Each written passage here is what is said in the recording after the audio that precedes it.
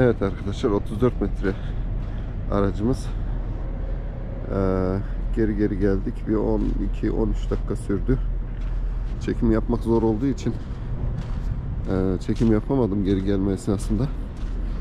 Ama yanaşabildik çok şükür. Her zaman kolay olmuyor. Biraz dollümüz e, yamuk durmuş ama problem olur mu? Olmaz. Belki işte şimdi bu dorseyi burada bırakacağız. Diğer dorseyi götüreceğiz, dolduracağız, yükleyeceğiz. Sonra geri gelip takacağız buraya. O zaman belki problem olabilir. Ya o da çok problem olmaz. Yamuk değil yani. Önemli olan şu görülen yeri tutturabilmek. Onu da tuttururuz büyük ihtimal. Şimdi arka tarafı kontrol ediyoruz.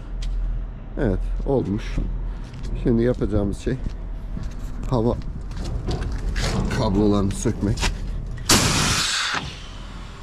Evet şu sesi duyacaksınız. Sonra ABS'yi sökelim.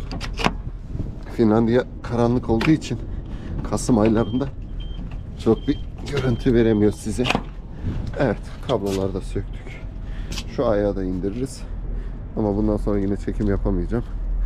Gördüğünüz gibi 34 metre. Herkes yanaştırabilir arkadaşlar. Soranlar oluyor zor mu diye.